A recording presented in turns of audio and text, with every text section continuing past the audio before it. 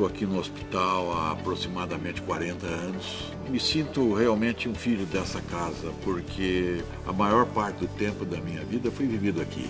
E participei e participo ainda da história do hospital de uma maneira muito intensa. No princípio, quando eu vim para cá, juntamente com o Dr. Emil Sabag e os demais da equipe, nós fomos os pioneiros em transplante de rim aqui dentro enquanto não se fazia, praticamente não se fazia transplante de rim em hospitais privados, o Hospital Alemão Oswaldo Cruz começou a fazer.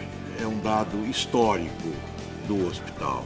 E assim como do serviço de nefrologia, que precisou se desenvolver para dar amparo a essa nova atividade. E com isso veio a diálise, e vieram os demais transplantes, transplante de fígado, transplante de coração também. Então a área dos transplantes, esse momento foi um momento iniciado naquela época, junto com o Dr. Sapaga, eu era um jovem assistente e participei ativamente desse momento. Eu acho que esses 120 anos do hospital foram 120 anos de muita seriedade, de exemplo, de postura, eh, de ética, afeto, e sentimento. É assim que eu, eu me ligo a esse hospital.